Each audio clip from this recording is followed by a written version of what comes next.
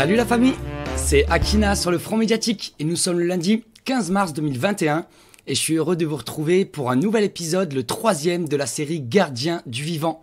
C'est la boîte à outils du bâtisseur, voilà une nouvelle série qui a été inspirée suite à l'entretien avec Louis Fouché parce que nous sommes nombreux à rêver d'un monde plus positif. Eh bien j'ai une bonne nouvelle ce soir pour vous, il existe déjà. Alors qu'aujourd'hui nous sommes submergés d'informations très souvent négatives et anxiogènes, que tout va de plus en plus vite, eh bien, nous allons prendre le temps ce soir pour une troisième, euh, un troisième épisode, le temps de découvrir des alternatives concrètes et réalistes. Les solutions qu'on va voir ce soir ensemble sont déjà expérimentées partout, aux quatre coins du globe, en France et ailleurs, et chaque jour un peu plus. Petit à petit, un nouveau monde se construit, et grâce à tous ces gardiens du vivant qu'on va valoriser dans cette série. Euh, donc euh, cette série est là pour proposer un peu une boîte à idées, une boîte à outils, afin que tous ensemble nous bâtissions le monde de demain.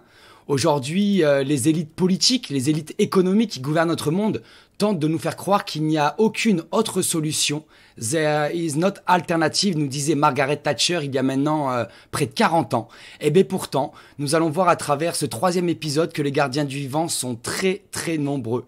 Donc euh, une émission en 16 parties où on va regarder ensemble des petites capsules vidéo que j'ai sélectionnées qui montrent plein d'alternatives dans tous les domaines. On va dans un premier temps s'intéresser euh, aux médecines alternatives, en particulier avec la médecine chinoise, la médecine traditionnelle chinoise, qui a beaucoup à nous apprendre aujourd'hui et qui est complémentaire de la médecine euh, occidentale, la médecine nucléaire, allopathique. Puis dans un second temps, on s'intéressera à d'autres manières de cultiver avec une petite capsule sur comment sensibiliser les enfants euh, à la nature, au jardinage, au vivant. Puis dans un troisième temps, on regardera des constructions nouvelles avec une maison autonome qui est autosuffisante énergétiquement. Puis dans un quatrième temps, on s'intéressera à de nouveaux habitats avec un éco-village avec euh, la fille de Pierre Rabhi qui a créé donc un éco-village en Ardèche de mémoire. Puis ensuite, on fera un petit tour sur les nouvelles technologies, euh, où on essayera de valoriser euh, les logiciels libres avec euh, un, personnage emblématique dans le monde du logiciel libre que je vous ferai découvrir peut-être pour certains ce soir. Puis on s'intéressera aux éducations parallèles. Aujourd'hui, le système éducatif a de nombreuses limites. Et eh bien, on prendra un exemple en Belgique qui a déjà une dizaine d'années, mais qui a toujours tout son sens avec une école sans notes. Puis on s'intéressera à une alternative en termes de recyclage et de dépollution avec un chercheur qui a fait le choix de valoriser les déchets, qui fait le plein d'essence avec nos poubelles. Puis dans une huitième partie, on s'intéressera à l'économie au service de l'homme, avec l'économie sociale et solidaire, qui évidemment a des limites, mais aussi une alternative concrète face au capitalisme écrasant et dominant. Dans un neuvième temps, on s'intéressera à de nouvelles visions du travail avec un, entrepreneur qui a décidé d'accompagner les chefs d'entreprise vers la transition pour réinventer euh, la gouvernance dans les entreprises pour que les gens puissent trouver du sens. Puis dans une dixième partie, on s'intéressera à comment consommer différemment avec euh, Jess, un supermarché solidaire. Puis on s'intéressera à un projet d'autogestion citoyenne avec des initiatives qui ont lieu partout en France. Euh, j'ai eu la chance d'y participer à certaines à Toulouse avec les gratiférias qui nous viennent d'Argentine. Puis dans un douzième temps, on s'intéressera à des mouvements citoyens. On partira direction l'Amérique latine avec le mouvement des Santerres. Dans une treizième partie, on s'intéressera à de nouvelles formes de gouvernance avec un extrait tiré du site On passe à l'acte, une magnifique association qui avait interviewé Etienne Chouard il y a quelques années. Etienne Chouard qui propose aux citoyens de réécrire la Constitution pour pouvoir créer une société démocratique. Dans un quatorzième temps, on s'intéressera aux relations à l'environnement et en particulier à l'énergie avec l'électroélectricité, la thermoélectricité, excusez-moi, qui est une énergie d'avenir. Puis, dans un quinzième temps, on s'intéressera au changement de paradigme dans la partie développement personnel avec Pierre Rabhi qui nous parlera de sobriété heureuse. Et enfin, on finira en musique avec une partie autour de l'art et de la créativité et avec une magnifique chanson de Grand Corps Malade et de Monsieur Boringer qui avait fait une magnifique chanson euh, dans une gare parisienne qui s'appelait Course contre la honte.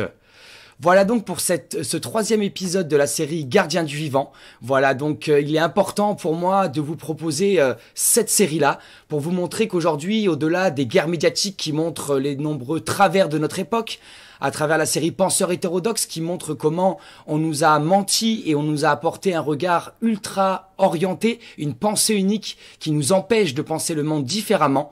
Et bien dans cette série-là, on est là au contraire pour mettre en avant des choses concrètes, des alternatives, des initiatives, des solutions qui fonctionnent déjà. Aujourd'hui, souvent on nous dit on ne peut rien faire, euh, ça a toujours été comme ça, l'homme est un loup pour l'homme, on n'y peut rien. Eh ben non, des millions d'êtres humains, des dizaines de millions d'êtres humains construisent chaque jour le monde de demain. Ils apportent chacun leur pierre à l'édifice, comme vous le voyez sur la petite miniature, et ils construisent ensemble une nouvelle terre, une terre qui collabore, où les êtres humains sont coopèrent, où chacun apporte sa pierre à l'édifice pour bâtir ce nouveau monde. Il est important dans cette période euh, remplie d'anxiété, remplie de pessimisme, d'inquiétude par rapport à l'atteinte aux, libertés individuelles, aux droits fondamentaux, dans cette période où le coronavirus est, est instrumentalisé par les gouvernements du monde entier pour porter atteinte à la, aux démocraties de basse intensité et éloigner encore un peu plus les citoyens de la gouvernance, il est important de montrer tous ces êtres humains, tous ces bâtisseurs, tous ces gardiens du vivant qui agissent tous les jours, qui donnent de leur temps, de leur énergie, de leur santé, de leur argent pour pouvoir bâtir des alternatives concrètes et montrer qu'il y a des solutions dans tous les domaines. La santé, l'agriculture, l'éducation, l'environnement, l'énergie. Oui, les solutions sont là. Évidemment, il faudra ensemble construire une réelle démocratie, une démocratie participative ou directe. Je laisse le débat ouvert pour pouvoir permettre de construire cette société qui sert l'intérêt général, qui sert l'intérêt collectif et non pas faire perdurer cette société qui laisse tant d'êtres humains de côté, qui détruit le vivant sur son passage et qui continue à nous enlever tout le sens euh, de notre existence, le lien des êtres humains les uns avec les autres. Donc je suis heureux de, de, vous partager donc cette soirée positive, 100% positive, pour nourrir l'espoir, l'espérance et montrer que oui, le monde de demain est possible. On laisse donc les pessimistes de côté et ensemble, on va construire le nouveau monde. Vous savez que le monde euh, change grâce aux minorités agissantes. Et si vous êtes là ce soir, c'est que vous faites partie de ces minorités agissantes. Et donc on va commencer avec le, la première partie de cette émission autour des médecines alternatives.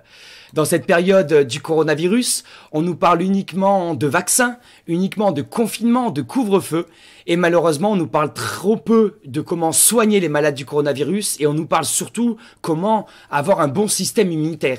Et bien, la médecine traditionnelle chinoise, plutôt que s'intéresser à comment soigner les maladies, comme dans la médecine nucléaire occidentale, et bien, elle s'intéresse à prévenir les maladies. Elle s'intéresse à la santé des individus.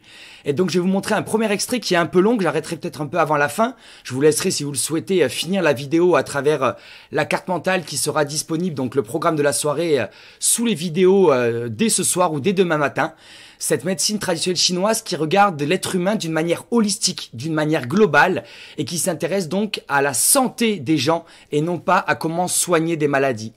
Allez, c'est parti pour ce, cette première partie autour de la médecine traditionnelle chinoise.